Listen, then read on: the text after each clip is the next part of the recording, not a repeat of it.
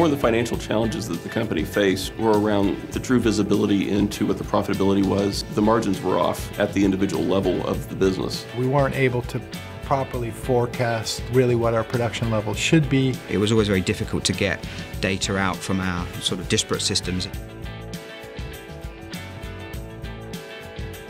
Since we've input ByDesign, we've significantly lowered our perishable losses from overproduction.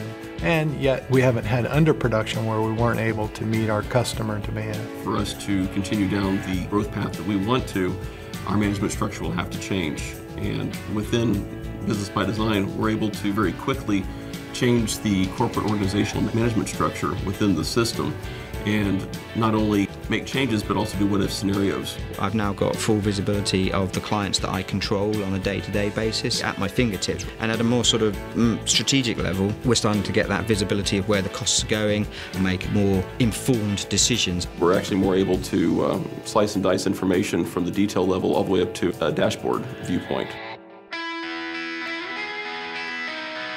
SAP Business ByDesign is really going to help us for our remote employees. They can access uh, ByDesign anywhere as long as they have internet access. By having an on-demand solution there, you've got basically inherent access from wherever you are in the world. They're no longer calling into the home office to ask for a report. They're able to go online and get the data they need.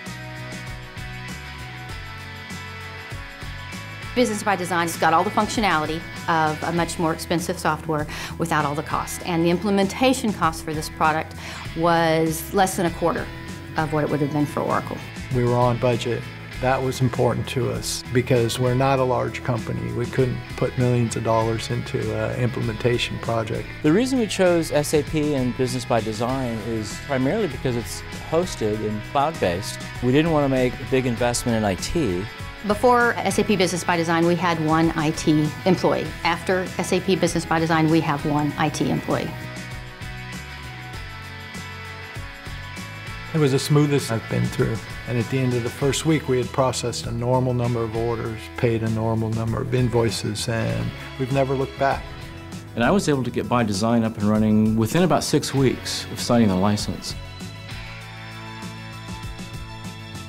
The nice thing about ByDesign is, is that we'll cover 90% of what we do as a business. So we don't have to worry about any sort of external integration. The functionality is phenomenal. SAP ByDesign is our system of record. And at this point, we categorically could not survive without it.